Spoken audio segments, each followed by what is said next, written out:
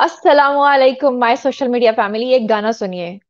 शैला में शैला, ऐसी हूँ शैला, जो बात ना माने मैं, देती हूँ मरवा। शैला मैं शैला, इस पे और क्या बात करूँ मैं? और तो कुछ कहने को रहा नहीं। बाकी सारी बातें तो आपको पता है कोर्ट में किस तरह से ये केस अब स्टार प्लस का एक ड्रामा बनता जा रहा है और किस तरह से सच्चाइयाँ सामने आती जा रही हैं। जो सच को सुनना, जानना चाहते थे, वो तो हमारे सच को मानते भी हैं और जानते भी हैं। और जो नहीं मानना चाहते, जो ढीठ है, वो अभी तक लगे हुए हैं अपने कामों पे। और जैसे कि आप लोग जानते हैं, जिनको नहीं पता, मैं उनको भी बता दूँ कि डॉक्टर साहिबा की आज दबंग एंट्री हुई और उन्होंने जस्टिस सलाहुद्दीन पंवर के सामने ये कहा कि ना सिर्फ़ उनको इन्फ्लुएंस किया गया, ना सिर्फ़ उनको पाँच किस्म का नशा पिलाया गया, ना सिर्फ़ उनके साथ उनको रिश्वत दी गई, ना सिर्फ़ उनको सूट दिया गया, ना सिर्फ़ उनको चीज़ें दी गई, इन सब चीज़ों के ऊपर हम बात करेंगे। और अभी भी झूठे यूट्यूबर्स जो है, वो नया प्रोपागेंडा पहले वो सर जोड़ के बैठे हुए थे सारे, और वो ये सोच रहे थे कि अब हमने नया झूठ क्या फैलाना है? तो अब नए झूठ पे वो जो मुत्तफिक हुए हैं, वो ये हुए हैं कि वो डॉक्टर साहिबा जो है, वो पहले से ही पागल थी, उनको नशा नहीं दिया गया और वो डॉलर्स लेकर बदल गई हैं। और ये कि उनको सजा के तौर पे केस से निकालकर अब नए डॉक्टर्स का मेडिकल बोर्ड जो है वो बनाया जाएगा। इस पे बात करने के लिए मेरे साथ बिलाल साहब भी मौजूद हैं और जाफरी साहब भी the one and only the bang lawyer Jafri साहब भी हमारे साथ मौजूद हैं। डिस्कनेक्ट हो गए हैं, रास्ते में हैं। लो जी। मैं तो हैरान हूँ और मेरे पास तो कहने के लिए अल्फाज ही नहीं है और मुझे तो समझ ही नहीं आ रहा। लेकिन मैं आपको नाजरीन एक बात बता दूँ कि ये जो ब्लू ब्लू है ना, ये बड़ी खतरनाक चीज़ है। आपने इनको कोई एवे शेवे नहीं समझना। इनके पास कुछ इस तरह की खतरनाक चीज़ें आ चुकी हैं। अब आई डोंट नो वो सारी बात है क्योंकि इनका सोर्स है तो ये सबसे पहले अपने व्लॉग्स में वो दिखाएँगे। और जब ये दिखाएँगे तो फिर हम इनको लाइव में लाएँगे और फिर इनसे पूछेंगे। लेकिन पहले मैं पूछना चाहती हूँ जाफरी साहब से जो उबर चला रहे हैं क्योंकि अगला पैसेंजर आने से पहले पहले हमने इनकी राय लेनी है। जी जाफरी साहब आपकी प्यारी मैडम जी। मैडम जी का नाम दोबारा से ज़िंदा हो गया। देखिए जी बात ये है कि एक पंजाबी की मूवी थी सुल्तान राय साहब की। उसका डायलॉग था कि अत खुदा दा वैर होंदे ही। जी। अत खुदा इन्होंने अत उठा ली थी और अल्लाह की लाठी कहते हैं बेआवाज होती है। बेशक। सबसे पहले मैं इस जो आज हुआ है उसके ऊपर बात करने से पहले एक बात करना चाहूँगा। मैं बीइंग स्पोक पर्सन मैं बीइंग वकील जहीर जहीर की एहलिया और जहीर की फैमिली आप जितने भी लोग हैं जुनेरा बिलाल मियाँ आसफ साहब एडी सूरी एक्सेट्रा आप सारे रिपोर्टर्स हैं आप सब यूट्यूबर्स हैं आपकी एक बात जो है वो मेरिट के ऊपर हो सकती है। लेकिन जो फैमिली की बात है जो जहीर की बात है वो आप नहीं कर सकते। अगर आप करेंगे भी तो उसकी कोई अथेंटिसिटी नहीं है। वकील क्या होता है जी? वकील वो इंसान है कि ज़ुबान उसकी हिल रही होती है पीछे अल्फाज उसके साइल के होते हैं उसके क्लाइंट के होते हैं। जी बिल्कुल। मैं अपने क्लाइंट्स जहीर शबीर उनकी वालदा उन तीनों के बेहाफ पे यहाँ पे ऑन ओथ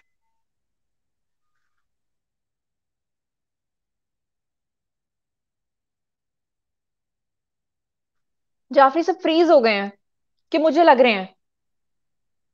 बिलाल साहब आपको ठीक नज़र आ रहे हैं। जी फ्रीज हो गए हैं। जाफरी सब दोबारा आए क्योंकि वो ड्राइव जी जी वो ड्राइव कर रहे हैं बेसिकली तो इंटरनेट के इश्यूज़ हो जाते हैं। सारी बात है। फाइव जी कह के फोर जी कह के टू जी बेचते हैं। पाकिस्तानी कौम है ना हम? बिलाल साहब आप आप तो वहाँ बैठे हैं। आपने तो ये सारा मंजर अपनी आँखों से देखा है। ये सारा सारा कुछ होते आपने देखा है। अब ये झूठे यूट्यूबर्स एक नया ड्रामा कर रहे हैं, कह रहे हैं कि जहीर के पास वो डॉक्टर बैठी हुई थी सुबह से और जहीर ने उनको पैसे लगा दिए और ये हो गया, वो हो गया, लेकिन झूठ के पाँव कितने लंबे हो जाएँ। जब लड़की ही कह रही है कि मैंने अपने शोहर के साथ जाना है, जब लड़की ही अपनी बात पे कायम है तो पीछे रह क्या जाता है? आप जरा कुछ मंजर कशी करना चाहेंगे? बिलाल साहब। बिलाल साहब भी फ्रीज हो गए हैं। एडमिन आप बिलाल साहब को भी दोबारा लेकर आओ और जाफरी साहब को भी दोबारा लेकर आओ। और मैं फिर उसके बाद जब जाफरी साहब आएँगे तो मैं उनसे भी पूछूँगी लेकिन उससे पहले तक वो लोग जो अभी तक जिनको नहीं पता। जी जाफरी साहब। मैं क्या बात कर रहा था? आप ये बात कर रहे थे कि मैं अपने क्लाइंट्स के बिहाफ पर ये बात कर रहा हूँ। हेलो जी आवाज़ आ रही है आपकी जी जाफरी आप अपने क्लाइंट्स के बिहाफ पे कोई मैसेज दे रहे थे जहीर और शबीर के बिहाफ पे? हाँ जी, मैं अपने क्लाइंट के बिहाफ पे ऑन ओथ कह रहा हूँ। ये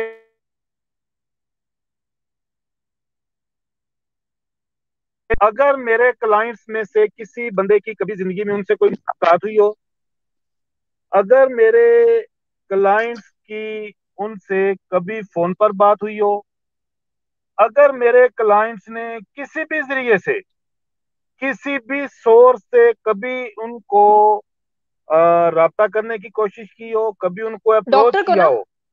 डॉक्टर को कह रहे हैं हम। जी। जी जी डॉक्टर क्योंकि यही कहा गया ना मेरे जबरी कादयानी ने कहा कि जी दो दिन पहले यही डॉक्टर साहबा कह रही थी कि जी मेरे साथ मुल्जम और उसकी तरफ़ से रहा किया जा रहा है। और कुछ जी लोगों जी ने भी ये कहा कि जनाब ये जहीर लोगों ने इसको इन्फ्लुएंस किया और ये बयान किया। तो मैं अपने क्लाइंट से बात करने के बाद मैं लेट क्यों आया हूँ? मैं सबसे बात करने के बाद मैं इस मामले की क्योंकि मैंने जो बात करनी है वो आप समझे कि वो मेरे क्लाइंट्स की ही बात है। जी। अगर कोई मेरा रहा मेरे क्लाइंट्स का मीन टू से वकील जब प्रेजेंट करता है क्लाइंट को तो वो क्लाइंट को मैं ही कहता है।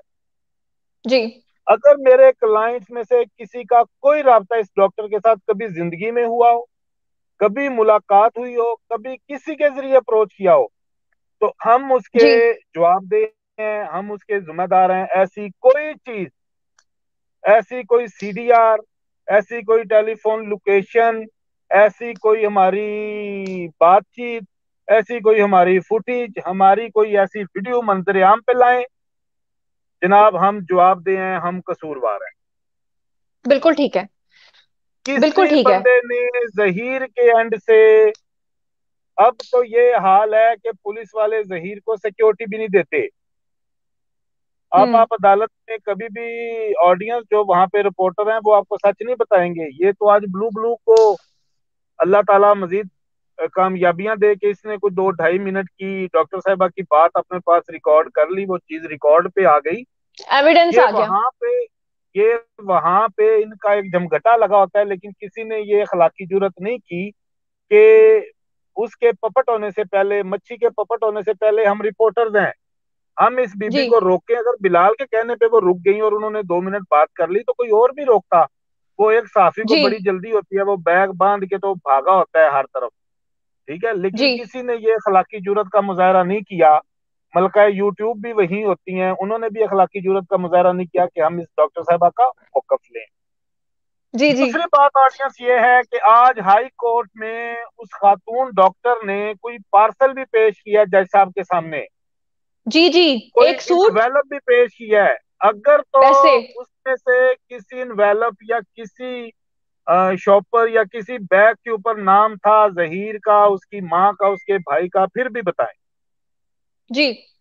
ये जो भी हुआ है अवाम आपको ये दोबारा से बेवकूफ़ बनाएँगे क्योंकि आज इनके चेहरे देख लें वो एक पंजाबी का एक गाना है कि पता नहीं साडे हाल ना पूछ साडे पता नहीं मुँह वेख के की इस तरह का ना कि आज उनके चेहरे बता रहे थे कि उनका गंद उनके अपने ऊपर गिर गया है। और ये कोई बिल्कुल। बात नहीं हुई। जी। ये कोई नई बात नहीं हुई। वकार भट्टी साहब की 10 जुलाई दी न्यूज़ पेज नंबर तीन के ऊपर रिपोर्ट आज भी मौजूद है। आप नेट के ऊपर जाके वो देख सकते हैं। जी जी। कि उसमें उसने जो मेडिकल बोर्ड था उसका पोस्टमार्टम कर दिया। वो बोर्ड कैसे बना? उस बोर्ड में क्या हुआ? किस तरह से वो ओसिफिकेशन टेस्ट करवाया गया? और हम्म। मेजोरिटी की राय को पीछे करके माइनॉरिटी की राय को फोकियत दी गई। उसी जी तरह जी से आज से चार दिन पहले चंद यूट्यूबर्स ने खबर दी थी कि जी इस तरह की रिपोर्ट आने वाली है। हम्म हम्म। ये इन्होंने पेशन गोई कर दी थी कि इस तरह की रिपोर्ट आने वाली है लड़की तो ये दबाव में है तो लड़की वो दबाव में है। जी वो जी। आज आपको सारा पता चल गया कि इनको कैसे पता था क्योंकि ये स्क्रिप्ट लिख के देते हैं डॉक्टर्स को कि ये लिखते हैं एज इट इज़ अपनी रिपोर्ट में। जी जी जी लेकिन जी जो डॉक्टर फातिमा थी अल्लाह पाक उनको अपने हिफ्जो मान में रखे। उन्होंने जो आज किया है ये अल्लाह ताला ने उनके दिल में ये हक और सच की जो ताकत है वो डाली और उन्होंने बगैर डरे जिस तरह एक बीस साल का यतीम बच्चा पिछले अरसे से मत्था लगा के बैठा हुआ है जी जी। के फिरौनों के खिलाफ आज उन्होंने भी उनके खिलाफ आवाज़ हक बुलंद की और उन्होंने बताया कि मुझे इस तरह बीबी ने आ, जी। किया। बीबी ने मुझे कहा तुम्हें जान से मरवा देंगे। और इस तरह से बीबी ने मच्छी के ज़रिए मुझे तोहफे तहफ और पैसे भिजवाए। जी जी जी। ठीक है? उस बीबी की मैं मैं वो जो डॉक्टर साहिबा हैं उनकी सबसे बड़ी बात यह है कि उन्होंने एक एक मिनट की अच्छा मैं बिलाल साहब आपसे पूछना चाहती हूँ कि एक तो आप मंजर कशी करें क्योंकि आपने अपनी आँखों के सामने ये सब कुछ देखा है। कुछ हाँ, जी जी आप जाफ़र साहब उतनी देर आप म्यूट कर लें। आप म्यूट कर लें उतनी देर के लिए। बिलाल साहब सुन ले जी जी जी। मैं एक एक मीटिंग के लिए आया हूँ तो टाइम मेरे पास शॉर्ट है मेरी बात ठीक है। मैंने आपको कहा था उस वक्त आप जो है ना वो आप असल में बेसिकली मैं सॉरी टू से आप दुकानदार भी हैं ना। आप हक और सच के इलमदार के साथ साथ दुकानदार भी हैं। तब मैंने आपको कहा था अच्छा। जब आप पब्लिक को लेके बैठ गई थी तब हम बात कर लेते जरा हम अच्छे तरीके से डिटेल में बात कर लेते। अब जी जी आप बताएँ बताएँ। अनइंटरप्टेड चाहिए मेरी बात सुन। हम्म ठीक है ठीक है। ये उस डॉक्टर साहबा ने आज जो बातें की हैं ये सिंध हुकूमत के बारे में सिंध के वजरा के बारे में जो लोग खासतौर पे सिंध में रहते हैं या जो लोग सियासत को समझते हैं करंट अफेयर्स को समझते हैं उनके लिए ये कोई नई बात नहीं है।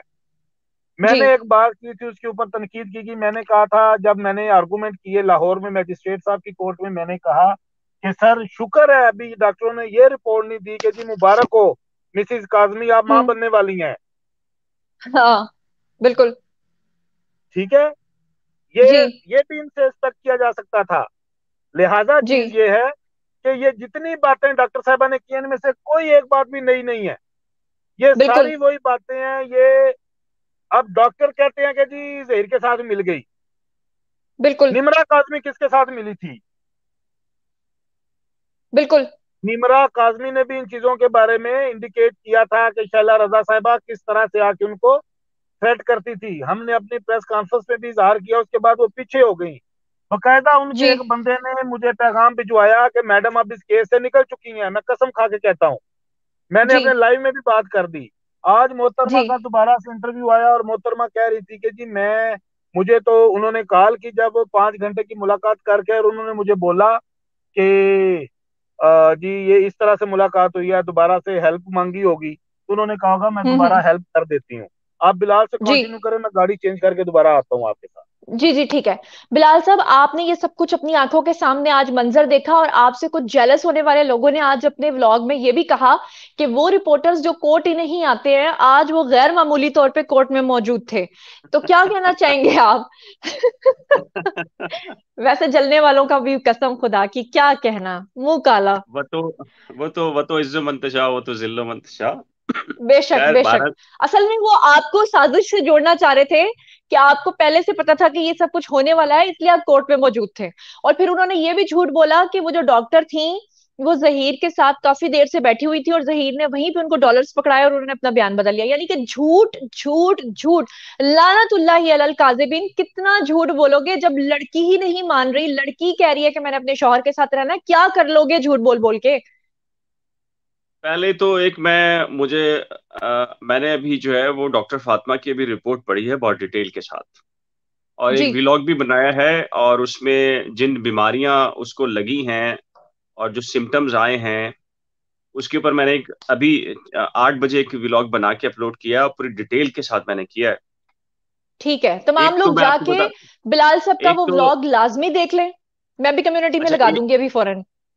एक तो आज एक तो अहम चीज़ ये हुई है जो भी डॉक्टर फातिमा ने जो कुछ कहा है बेशतर लोगों को पता चल गया है मैं तफसीलात बता देता हूँ। लेकिन मुझे एक चीज़ का खदशा मेरा ख्याल है कि ना सिर्फ़ मुझे है बल्कि जितने भी सुनने वाले हैं वो मैं ये समझ रहा था कि ये वाकई आइडियल किस्म का एक शेल्टर होम है लेकिन आज जो मैंने रिपोर्ट पढ़ी है अ, मैं आपको बताऊँ कि मेरे पास अल्फाज नहीं है जो कुछ उस बच्ची के बारे में लिखा गया है। और यहाँ तक डॉक्टर्स ने कहा है कि एक से डेढ़ महीने में वो मुकम्मल तौर पर मेंटली डिसऑर्डर हो सकती है इस बात के इम्कान हैं। जब एक डॉक्टर अच्छा। को जब एक डॉक्टर को चाय की प्याली में नशा और अद्वियात दी जा रही हो बिल्कुल। तो उस लड़की के साथ वहाँ क्या हो रहा होगा आप उसका अंदाज़ा कर सकते हैं। Hundred percent. मैं भी आपसे यही सवाल करने वाली थी कि उसको खाने में क्या तो, दिया? अच्छा एक अच्छा, मिनट बिलाल साहब एक सेकंड एक सेकंड बिलाल साहब एक सेकंड मैं यहाँ पे ये कहना चाहती हूँ कि जब हम लोग जाते हैं शेल्टर होम में किसी से मुलाकात के लिए तो प्रॉपर हमारी चेकिंग होती है स्कैनिंग होती है। एक एक चीज़ हमारी जो हमारे हाथ में इवन के मोबाइल होता है उसको भी काउंटर पे रख लिया जाता है। और हमें कहा जाता है कि आपने अकेले जाना है। जब अंदर ये लोग गए हैं, चाय पेश की है डॉक्टर से ये सब कुछ कहलवाया, करवाने की कोशिश की गई है, उनकी चाय में नशा डाला गया है तो इसका मतलब है कि बिना सहूलत कार के ये काम नहीं हो सकता। और आपकी बात ये बिल्कुल हंड्रेड परसेंट राइट है कि वो लड़की पिछले तीन माह से शेल्टर होम के अंदर है और उसको जो खाने में डाल के पिलाया जा रहा होगा। और एक आपका रिपोर्टर है कराची का, जिसने खुद अपने मुँह से ये बात कही है कि मैंने जब कोई खबर लेनी होती है तो मैं खुद डायरेक्टर एफआईए के पास जाता हूँ और जाके उनसे इन्फॉर्मेशन लेता हूँ, वो कैसे उसको इन्फॉर्मेशन देते हैं। देखें ये जो आपने शेल्टर रूम की बात की है ना जाकर हर चीज़ की चेकिंग होती है। ये पंजाब के अंदर होता है और आम तौर पर आम केसेस के लिए होता है। लेकिन सिंध है सिंध के अंदर आपको पता है कि पैसे ये सब दीन ईमान है। हर सरकारी डिपार्टमेंट हो कोई भी इंस्टीट्यूशन हो सिंध के अंदर तो दीन ईमान सबका जो है वो पैसे ही है। और ये सबको पता है अच्छा। कि पैसे के बगैर यहाँ काम नहीं होता और पैसे के साथ हर काम हो सकता है। यानी कि आपकी सोच होगी वो काम भी जो है वो पैसे के ज़रिए हो सकता है। और मैं आपको सच्ची बात बताऊँ कि इस केस में जो आज डॉक्टर साहबा ने कहा है डॉक्टर साहबा कल भी आई हैं। कल भी जस्टिस सलाउद्दीन पवर साहब से मिलने की ख्वाहिश का इजहार किया है। इमरजेंसी में वो आई थी। दो पुलिस एहलकार उनके साथ मौजूद थे और वो इंतहाई परेशान थी। ये सूट और पाँच हज़ार रुपए का नोट वो कल भी लेकर आई थी। जी हाँ। और अच्छा। उन्होंने जज साहब को कहा पूरी तफसील बताई कि जज साहब ये हुआ है मुझे संगीन नौयत की धमकियाँ दी गई हैं और ये सूट बतौर रिश्वत दिया गया है तो मैं आपके सामने ये सबूत लेकर आई हूँ और इवन के डॉक्टर फातिमा ने अपने जो यूरिन यूरिन है उसका जो टेस्ट करवाया है उसकी जी रिपोर्ट जी। भी आज अदालत में पेश की है और है। मैं आपको एक और चीज़ बताऊँ हम्म। मुझे नहीं मालूम मुझे ये बात कहनी चाहिए नहीं कहनी चाहिए लेकिन ये वाक्य तो हुआ है। ये कोई नौ बजे के करीब वहाँ आई हैं और बैठी रही हैं और ऑब्ज़र्व करती रही हैं सारी चीज़ों को देखती रही हैं। इन इन इनका आइडिया ये था कि साढ़े नौ दस बजे केस आ जाएगा लेकिन वो ब्रेक हो गया साढ़े दस बजे।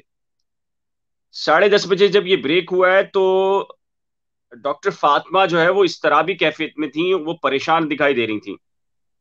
और वो पहले बाहर गई हैं फिर उन्होंने जज जज साहब के चैम्बर में फिर दोबारा से कोशिश की है कि कम से कम अगर वो ज़िंदा रहें तो ज़िंदा रहते रहने से पहले पहले वो ये डॉक्यूमेंट्स और चीज़ें जज साहब को पेश कर दें बहरहाल उन्हें अच्छा। ये पैगाम दिया गया कि आप कमरा अदालत में बैठें और जज साहब जब आएँगे तो फिर ये सारी की सारी चीज़ें आपसे ली जाएँगी और केस जब होगा तो फिर टेकअप होगा तो उन्हें यूँ लगा कि शायद शायद कोई भी उनके साथ नहीं है और समाप्त अच्छा। होने से अच्छा। पहले इस केस की समाप्त साढ़े ग्यारह बजे के बाद हुई है लेकिन वो ग्यारह बजे उनको फील हुआ है कि नहीं अब शायद उनकी ज़िंदगी खतरे में है और कोई भी उनके साथ नहीं है तो वो कमरे अदालत में मैं मौजूद था दो चार लोग और बैठे हुए थे चूँकि ब्रेक था तो सारे लोग चाय पीने गए हुए थे या बाहर टहल रहे थे उसने स्टाफ के सामने बाकायदा चीखो पुकार की है और उसने कहा है कि सब मिले हुए अब सब के अंदर सब शामिल है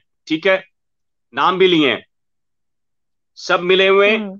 और हम्म। जिन खातून मुशीर का नाम लिया है जाफरी साहब ने उनका नाम लेके कहा है कि उन उन्होंने ये कहा है कि जज साहब भी मिले हुए हैं ये हम्म। बाकायदा उसने शोर शोर के साथ किया है जिसके बाद अच्छा।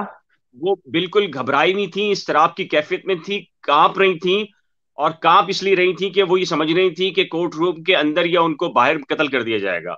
ठीक है? उ, उनकी अच्छा, कैफियत ये अच्छा। थी फिर जब केस की समाज शुरू हुई है तो फिर सारी की सारी डिटेल्स उन्होंने अदालत के अंदर रखी है कि जज साहब ये हुआ मैं गई और ये सूट दिया गया पाँच हज़ार का नोट दिया गया फिर दबाव डालने की कोशिश की गई और दबाव नहीं मैंने बर्दाश्त किया और रिपोर्ट इनकी मर्ज़ी के मुताबिक नहीं की तो फिर इन्होंने मुझे संगीन नौयत की धमकियाँ दी हैं।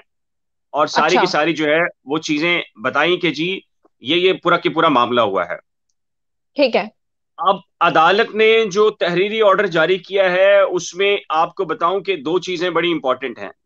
एक तो ये कि जो आज अदालत के अंदर एक एक एक एक डॉक्टर ने जो पूरी पूरी चीज़ बताई है बिल्कुल उसी तरीके से जैसे जस्टिस इकबाल करोड़ो साहब ने निमरा काजमी के अंदर भी एक खातून मुशीर का नाम आया था और उसको कोड नहीं किया था ऑर्डर के अंदर और जी मुस्कुराकर जी टाल दिया था।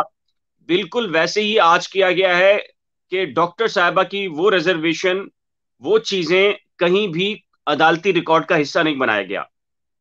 हम्म हम्म। नंबर एक। ठीक है। नंबर दूसरी बिलाल साहब आपको आप रोक रहे हैं। रुके आप इधर ही रुके ये मैं मैं बिल्कुल ये जो आपने बात की है मेरा नेक्स्ट यही पॉइंट था। अब देखिए मैं वहीं से कंटिन्यू करूँगा। बिलाल मैं फिर इधर भी आ रहा हूँ। मैंने पाँच मिनट में सम अप करना है। हम कहीं जा रहे हैं। अच्छा इशू ये है मियाँ साहब भी आ गए हैं। मियाँ साहब ये जितनी डॉक्टर साहिबा ने बातें की हैं मैं कह रहा था कोई एक बात भी नई नहीं है। ये सारी पुरानी बातें हैं। आज पार्सल के और पार्सल मियाँ साहब आपके पीछे से शोर आ रहा है थोड़ा म्यूट कर लें। पार्सल बिलाल साहब उनके मुँह पे दिए गए वहाँ पे मच्छी मौजूद था कादियानी मौजूद था उनके मुँह पे दिए गए पार्सल। कि ये मुझे इन्होंने दिया है। उन्होंने पार्सल से डिनायल नहीं किया। उन्होंने नई फ़िल्में चलाई इसने ज़बरदस्ती घुसने की कोशिश की इसने ये किया इसने वो किया। जब आप प्रेशराइज करके किसी को अपने घर ज़बरदस्ती डिक्टेशन के लिए बुलाएँगे फिर उनकी सीसीटीवी में फुटेज तो आएँगी ना कि वो आपके घर गई है?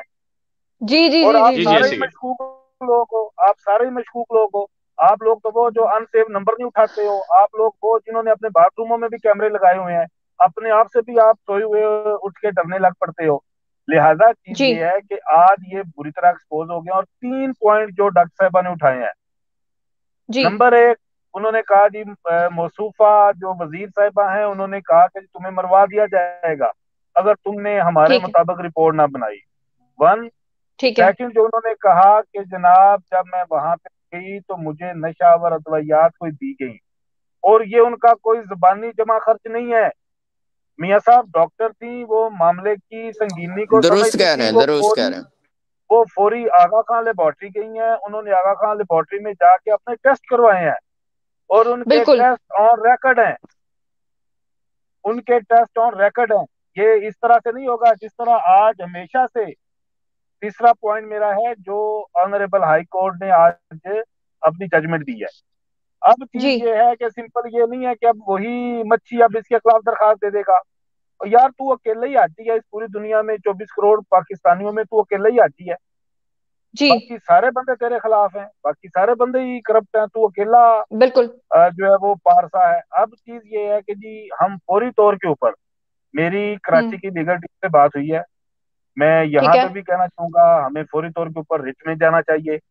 हमें फौरी तौर के ऊपर एक बकायदा इस सारे मामले की इन्वेस्टिगेशन चाहिए। एक बकायदा कमीशन बने जो ऑनरेबल लॉर्डशिप सलाउद्दीन पवर साहब अपनी निगरानी में बनाए जिसके ऊपर आप कुछ जुडिशल अफसरान को रख सकते हैं जिसमें आप कोई भी आप जो न्यूट्रल बंदे हैं आप कहीं से रख सकते हैं और इस मामले की इंक्वायरी की जाए उन डॉक्टर साहब की मुकम्मल तफसीलात चेक की जाए क्या वो मंशियात की आती थी अगर तो वो मंशियात की आती थी तो फिर जो उन्होंने मंशियात वाला इल्ज़ाम लगाया वो झूठा होगा। लेकिन अगर ये आ जाए कि डॉक्टर साहबा ने कभी माजी में मंशियात नहीं ली तो फिर इस ज़मीन के ये मंशियात उनको दी गई और इसलिए दी गई कि वो अपनी सेंसेस में ना हो वो जब लड़की को जाके बैठे वो लड़की को प्रॉपरली ऑब्ज़र्व भी ना कर सके और आके एक एवं हाँ हाँ। झूठी मूठी से एक रिपोर्ट बना के दे दे। ये हाँ हाँ हाँ। दूसरी चीज़ उन्होंने कहा कि डॉक्टर साहबान को जो है वो धमकियाँ दी गई वज़ीर साहबा की तरफ़ से। इसके ऊपर बकायदा इंक्वायरी चाहिए आज इतनी जदीद टेक्नोलॉजी है कि आज एक एक चीज़ कोई मैसेज डिलीट हो कोई मैसेज आया हो कोई मैसेज गया हो उसको आप डिलीट भी कर दें तो वो दोबारा से रिस्टोर हो सकते हैं। रिट्रीव हो जाता जी बिल्कुल ठीक है। तीसरी बात जो है इस वक्त उस शेल्टर होम में लड़की सेव नहीं है। ये मैं अप्रीहेंशन अपनी पूरी दुनिया के सामने बयान कर रहा हूँ। बीइंग का वकील मैं उस लड़की का वकील हूँ। मैं उसकी जो लड़की के ससुराल हैं उनका वकील हूँ। मैं ये बात ऑडियंस आपके सामने कह रहा हूँ।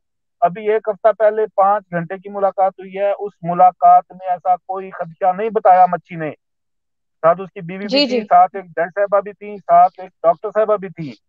किसी ने ऐसी कोई बात नहीं बताई कि लड़की सेंसिस में नहीं थी। किसी ने ऐसी कोई बात नहीं बताई कि लड़की हमें जहनी या नफसियाती दबाव में लगी। किसी ने कोई ऐसा खदशा ज़ाहिर नहीं किया? लिहाजा अगर इन फ्यूचर लड़की को वो एक मूवी आई थी क्योंकि सलमान जी। जी। उसमें वो डॉक्टर ऐसा करते थे जिसके ऊपर कोई वट होता था तो उसको पागल कर देते थे खुद। हम्म, हम्म, हम्म। ठीक है? लिहाजा अगर अब लड़की को कुछ किया जाता है लड़की अपनी सेंसिस में नहीं लाहौर से जब लड़की गई है पुलिस के साथ हंस के तस्वीरें बनाती गई है। यानी जी, जी. जब लड़की ने अपने आप को सरेंडर किया मैं ये नहीं कहूँगा ना ही ऐसा हुआ कि जब लड़की को रिकवर किया गया क्योंकि लड़की ने खुद सरेंडर किया।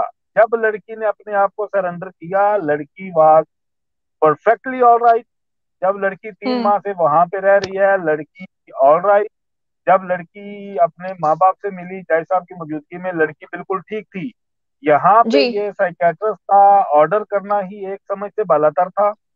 फिर आज जो साइकेट्रिस्ट साहिबा ने बातें की हैं उन बातों को अगर आप कानों में मार देंगे तो बहुत बड़ा नुकसान होने जा रहा है।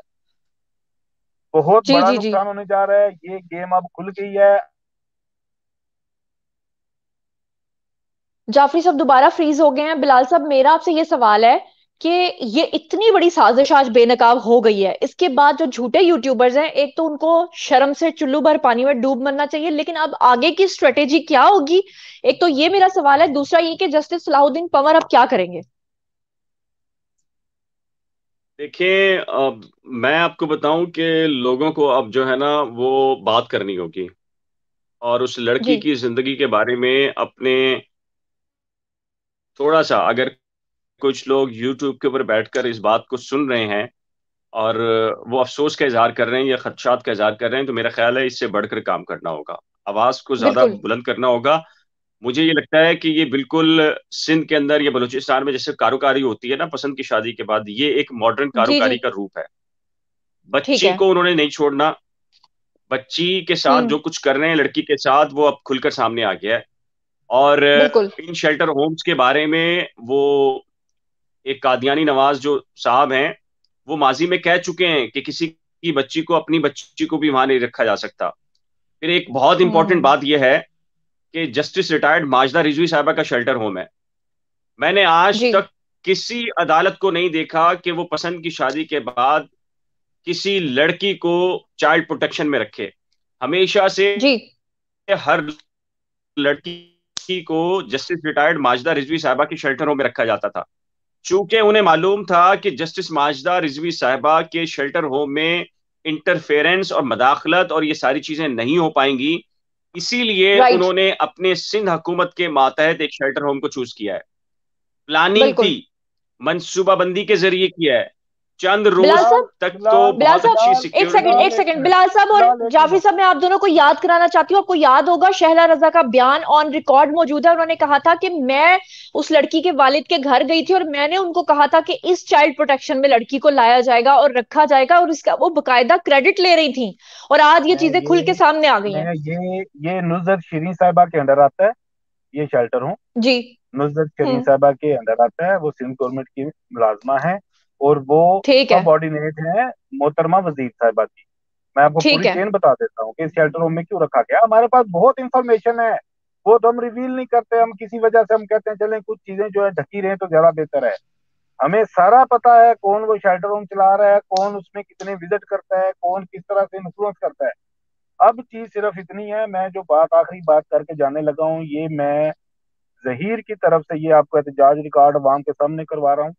मेरे क्लाइंट की तरफ़ से कि जो जहीर की बीवी है उसको इस वक्त शदीद खतरात है। बिल्कुल। उसको पैरालाइज किया जा सकता है उसको जहनी तौर पे मफलूज किया जा सकता है उसकी जान ली जा सकती है। बिल्कुल। लिहाजा ऑडियंस ये हमने अपना एहतजाज आपके सामने रिकॉर्ड करा दिया हम झूठ नहीं बोलेंगे। आने वाले वक्त में जो हम देखेंगे लीगल सतह पे हम जो करने जा रहे हैं वो हम आपको साथ साथ बताते जाएँगे। लेकिन ये हयात जी कह रहे हैं ये एक मिनट एक मिनट। हयात ने लिखा है ना कि मेरे चेहरे के ऊपर परेशानी है मैं वाकई परेशान हूँ। मैं सच्ची बात बताऊँ हम सब हालाँकि ऑर्डर हर बात जहीर के ऐसा नहीं है कि ऑर्डर जहीर या उसकी एहलिया के खिलाफ हुआ है। कल भी ऑर्डर उनके हक में हुआ था आज भी ऑर्डर है लेकिन उनकी जान को खतरा है। मुझे आज की जो सिचुएशन लगी है ना उससे अंदाज़ा हुआ है कि ये बच्ची को नहीं छोड़ेंगे। मुझे मेरी मेरी पर्सनल मुझे भी यही लग रहा है मुझे भी। कि ज़ाहिर है कि जिस तरीके से प्लानिंग की गई है ना इनकी तरफ़ से और एक तरफ़ तो मासूम बन के डॉलर इकट्ठे किए जा रहे हैं और दूसरी तरफ़ बच्ची की जान ले रहे हैं। और आज की जो रिपोर्ट है उसने सब बयान कर दिया है कि हम्म। ना अच्छा मैं आपको बता दूँ वो डॉक्टर साहबा ये कह रही थी अदालत में उसने खुद का चिल्ला चिल्लाकर जब जज साहब चैम्बर में थे उसने कहा कि ये जहीर को भी कत्ल करेंगे उस लड़की को भी मारेंगे और मुझे भी मारेंगे। उसने एक मरतबा नहीं कई मरतबा मर्तबा कहा और वो हम्म इतनी हम्म हम्म, परेशान थी कि फिर लेडीज़ पुलिस को बुला लिया गया और लेडीज़ पुलिस ने उनको समझाया कि आप यहाँ पर बिल्कुल महफूज हैं यहाँ आपको कोई कुछ नहीं करेगा आप बेफिक्र होकर अदालत में जब अदालत चलेगी तो आप अपनी सारी चीज़ें रखिएगा। लेकिन वो इतनी घबराई हुई थी कि लग ये रहा था कि उसे ये कहा गया हो कि तुम्हें तुम अदालत तो चली जाओगी लेकिन वापसी पे तुम्हें मार देंगे। ऐसी शायद ऐसी कैफियत के अंदर जो बंदा होता है ना वो ये सारी चीज़ें कर रहा होता है। और लोग जो ये कह रहे हैं कि जी उनकी हालत ठीक नहीं थी सारी चीज़ें तो वो खुद ही इस बात को कह रही थी कि वो यूरिन का जो टेस्ट है उसकी रिपोर्ट कल ही हुई थी और आज सुबह उसको लेकर आई है बाकायदा आगा खान से। और जी उन्होंने जी। कहा कि वो वो उन उनके जो उनके साथ अगर पाँच नशा आवर अद्वियात उनको दी गई हैं तो इस गैंग ने बाकी बाकी उस बच्ची के वो लड़की के साथ क्या किया होगा? आप इमेजिन नहीं कर सकते। तो हम्म मैं हम्म मैं हम्म। तो इसलिए फिक्रमंद हूँ। मुझे तो वाकई हालाँकि ये आज का जो ऑर्डर है उसमें रेप की सेक्शन निकालने का मॉडिफाई हो गया है। यानी कि अब वो रेप की सेक्शन नहीं लगेंगी नहीं लग सकती क्योंकि अब वो टेस्ट नहीं होगा। ठीक है। तिब्बी टेस्ट नहीं बल्कि जहनी टेस्ट की बात हुई है। अदालत ने उसको जहनी टेस्ट की बात कर दी है। तो वो रेप के हवाले जो सेक्शन हैं वो तो अब ऐड नहीं होने जा रही इसके बाद। लेकिन परेशानी का मामला यह है कि बच्चे और लड़की और लड़के की ज़िंदगी को मैं कहता हूँ इस ताकतवर तरीन जो माफिया है उससे बहुत खतरा है। मेरी मेरी बिल्कुल खतरा है। तो अब आगे क्या होने जा रहा है? मतलब अब नया बोर्ड बनेगा नया मेडिकल टेस्ट होगा और ये जो लड़की ये जो खातून डॉक्टर हैं इनके हवाले से अब जरा बता दें कि इनका अब आगे क्या है और डॉक्टर जो तो जस्टिस इन सलाउद्दीन पवर है वो क्या करेंगे? इन, इन डॉक्टर साहबा को तो नौकरी से फारिग करने का मंसूबा बना लिया है। एक कमेटी बन गई है शोकाज इनको हो गया है और आप चंद दिनों के बाद खामोशी से देखेंगे कि एक जाब्ते की कार्रवाई होगी और उसके बाद डॉक्टर फातिमा को नौकरी से निकाल दिया जाएगा। बाकी अच्छा। इनकी ज़िंदगी के हवाले से हम सब मिलकर दुआ कर सकते हैं। अदरवाइज़ चूँकि जो लोग पीछे हैं और जो कुछ उन्होंने कर दिया है डॉक्टर फातिमा ने वो हमारी सोसाइटी में तो कोई नहीं करता। खासकर सरकारी मुलाजिम तो कभी नहीं करता क्योंकि एक तो सरकारी मुलाजमत हासिल करना मसला फिर उसके बाद सरकारी मुलाजमत के बाद जो है वो पेंशन और दीगर मामला भी होते हैं तो सरकारी मुलाजिम तो कभी नहीं करता ठीक है? लेकिन डॉक्टर जो फातिमा है इन्होंने सरकारी मुलाजमत करने के बावजूद और लियारी मेडिकल कॉलेज जो कि है ही खासकर पाकिस्तान पीपल्स पार्टी के हवाले से मशहूर तो मुझे नहीं लगता कि ये नौकरी पर रहेंगी। बाकी इनकी ज़िंदगी के बारे में अल्लाह ताला से दुआई की जा सकती है अल्लाह ताला उनको महफूज रखे और उनको लंबी ज़िंदगी दे। दूसरी बात यह है दूसरी बात यह है कि देखें, अब नया बोर्ड बनेगा। हालाँकि हालाँकि जो डॉक्टर्स हैं, उन्होंने जो मुआयना भी कर लिया है और अपनी रिपोर्ट भी दे दी है। अब ज़ाहिर है कि मुझे ये लगता है, बल्कि मुझे नहीं, बल्कि सारे, सब जितने भी ऑडियंस है, उनको यही लगेगा, बिल्कुल वैसे ही बोर्ड बनेगा, जैसे वकार भट्टी ने कहा था ना कि दस रुकनी बोर्ड बना था पाकिस्तान, सिंध की तारीख का सबसे बड़ा बोर्ड। सिंध की तारीख का सबसे बड़ा बोर्ड। चूँकि ज़ाहिर है कि इसके पीछे एक नोबल कॉज है। और सबको पता है कि वो नोबल कॉज का मकसद क्या है। बच्ची कहाँ से है और लड़का कहाँ से है, सबको पता है। और उसके पीछे अमेरिका तक से जो फंडिंग हो रही है, और अभी किसी ने कमेंट सेक्शन में कहा हुआ था कि बिलाल साहब, वो पूरे डिजिट्स बता दें, दस या चौदह जो होते हैं, मैंने तीन डिजिट्स बताए हैं।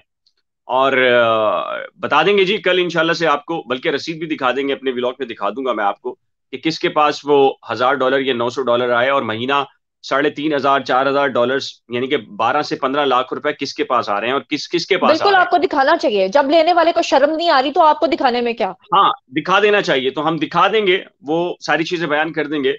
अब सारा की सारा मामला देखें अदालतों के ऊपर है। बाकी से साथ मिल गया। सिस्टम इस तरह मिल गया है कि बच्ची की जान खतरे में है। तो मैं यही कह सकता हूँ अब देखना ये कि छह या सात तारीख को जब भी इस केस की समाप्त होगी और ट्रायल कोर्ट में होगी तो ट्रायल कोर्ट क्या फैसला देती है? अल्लाह ताला से बहरहाल ये दुआ है कि देखें गलती बच्चों से इतनी हुई है ना कि उन्होंने अपने पेरेंट्स से पूछे बगैर ये कदम उठा लिया है। तो मेरा ख्याल है जितनी बच्चों से गलती हुई थी उनको उतना ही गलती की सजा देनी चाहिए थी। लेकिन उनकी जानों को खतरे में हम्म। डालकर और उनकी जानों से इस तरह खेलना मेरा ख्याल है किसी भी वालिद को मेरे ख्याल से किसी वालदा को किसी फैमिली वाले को किसी बच्चों वालों को मेरे ख्याल से जेब नहीं देता। बहरहाल, क्या कर सकते हैं? अफसोस का इजहार कर सकते हैं, इसके अलावा तो कुछ भी नहीं किया जा सकता।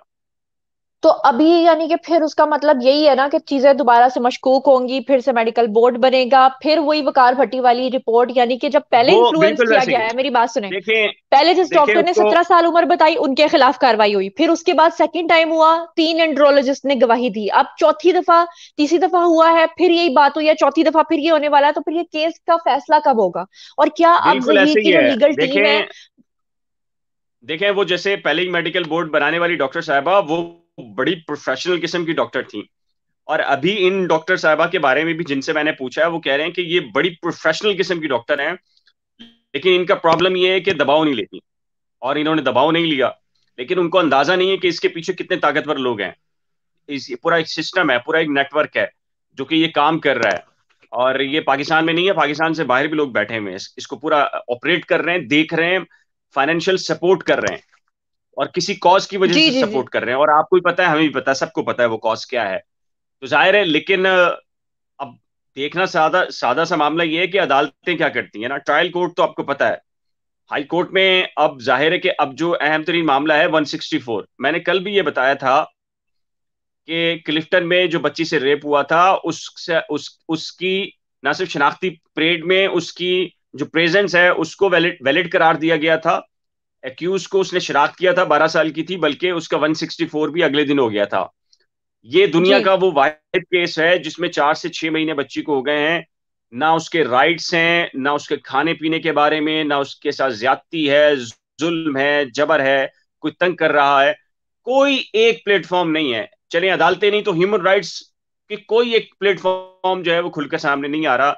मैं इसे बदतरीन इंसानी जो हकूक की जो है उसकी खिलाफ वर्जी है और, बस अब क्या कह सकते हैं सिस्टम है इस सिस्टम के अंदर तो आपको पता है, हिरन हाथी बनना को मसला ही नहीं है सिंध के अंदर तो खासकर। अब देखना यह है कि अदालत जो है वो सात तारीख को क्या फैसला देती है। बिलाल साहब मेरी हिम्मत अब खत्म हो गई है इसके आगे मैं मेरे पास कोई अल्फाज नहीं है। आप इसको कंक्लूड कर दें और अब आप आगे क्या देख रहे हैं? क्योंकि मैं वाकई सीरियसली बहुत ज़्यादा डिस्टर्ब हूँ। मतलब ये सब सुनने के बाद मैं, देखने मैं के बाद नहीं मैंने मेरी... मैंने मैंने देखे मैं मैंने आज जो चीज़ें देखी है ना उससे बस अब कुछ नहीं किया जा सकता। अल्लाह ताला से मैं चाहते हैं तो उन्हें बात करनी पड़ेगी खुलकर। और हमें खुलकर अब बात करनी पड़ेगी। ज़ाहिर है कि अब इसके अलावा कुछ चारा नहीं रहा। हमें खुलकर बात करनी पड़ेगी ये दो बच्चों की ज़िंदगी का मामला है। देखें ये किसी एक का नहीं है दो बच्चों की ज़िंदगी का मामला है। बिलाल साहब, आप जरा वो शेल्टर होम के और खासतौर पे डायरेक्टर एफ़ आई ए इन सब लोगों से जरा ये पूछे ना जाके कि कैसे ये कोर्ट रिपोर्टर्स जो है, आपका नाम लेकर खुले हम अपने ब्लॉग्स में इस बात का ज़िक्र करते हैं कि वो आप लोगों से न्यूज़ लेते हैं और आप लोग उनका सोर्स हैं और ये जो अंदर लड़की के साथ हो रहा है, इसका कौन जिम्मेदार होगा? अगर हम भी आवाज़ ना उठाएँ तो कौन है जो उनकी साइड की बात करेगा, जो उनका नैरेटिव बयान करेगा? नहीं तो बिलावल भुट्टो जरदारी को देखना चाहिए ना। वो इलाइटेड मॉडरेट हैं, वो सेकुलर भी हैं, रोशन ख्याल भी हैं। पाकिस्तान के अंदर जो स्टैंडिंग कमेटी है पार्लियामेंट की इस्लामाबाद के अंदर, उसमें उनका बड़ा अहदा भी है इंसानी हकूक का। और इंसानी हकूक के ऊपर बात भी वो करते हैं।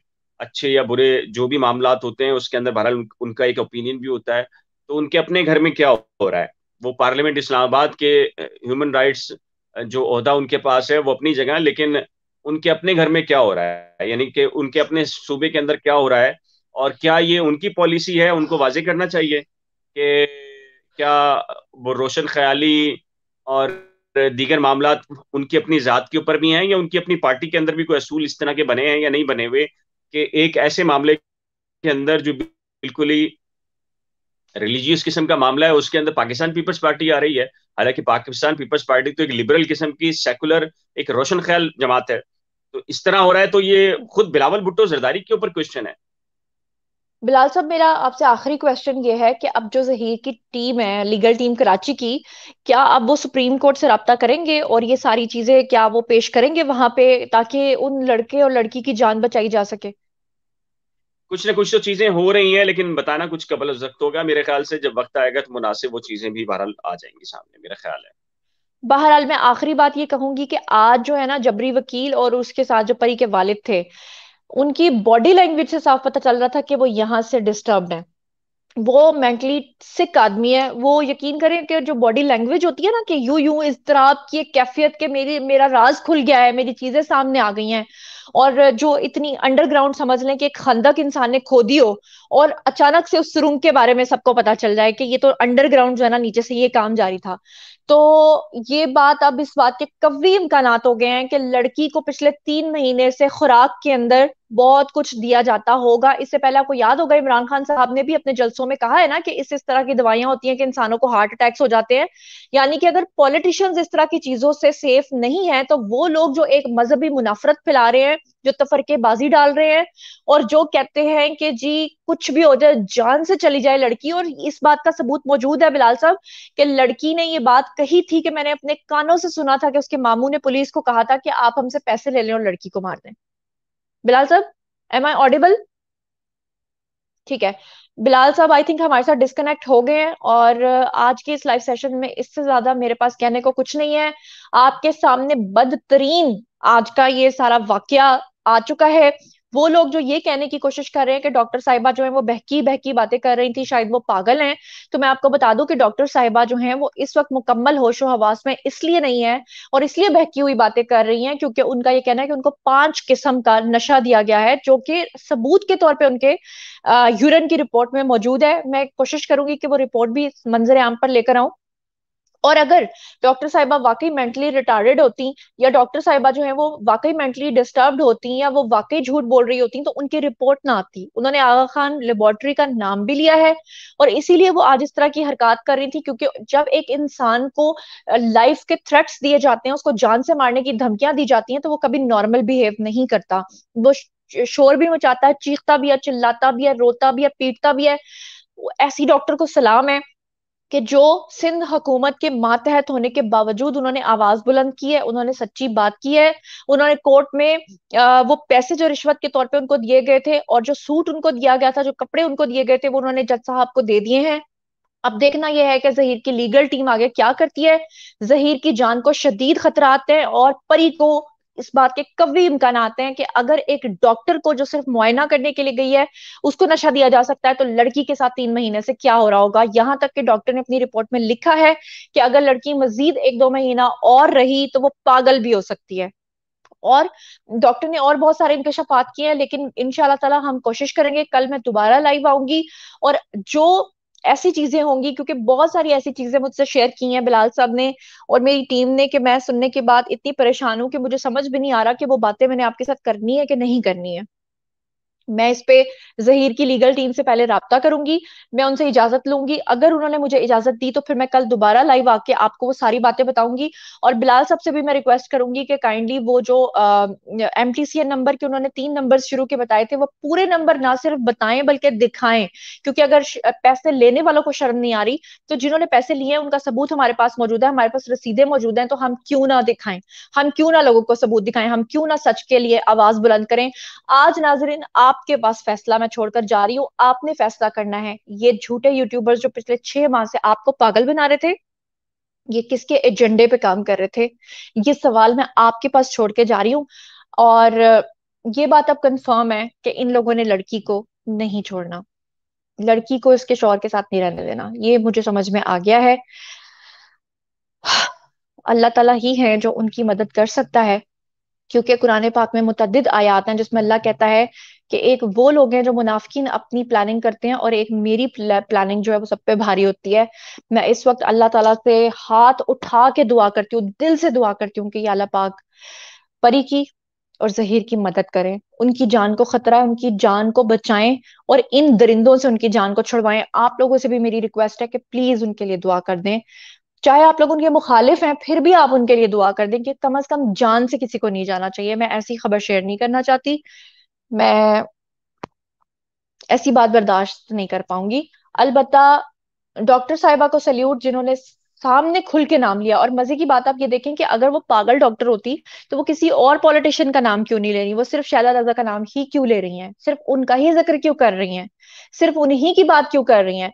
और जो जिब्रान नासिर कह रहे हैं ना कि हमारे पास सीसीटीवी फुटेज है, इनकी हमारे घर आने की तो ज़ाहिर बात है कि मेरा आप लोगों से सवाल है कि डॉक्टर को अपने घर क्यों बुलाते रहे ये लोग? मतलब इन्फ्लुएंस करने के लिए, उससे रिपोर्ट अपनी मर्ज़ी की बनवाने के लिए। मेरे कज़न ने मुझे एक बात कही थी, सिंध में कुछ भी हो सकता है। आज मैंने अपनी आँखों से देख लिया कि सिंध में कुछ भी हो सकता है। इससे ज़्यादा मैं कोई बात नहीं करना चाहती। आप लोग आए, आप लोगों की बारी है। कमेंट सेक्शन में आए और बताएँ कि आप लोग इस बारे में क्या सोचते हैं और समझते हैं। मैं पर्सनली आपको जवाब दूँगी। अपना बहुत ख्याल रखिएगा। अल्लाह ने के बाद।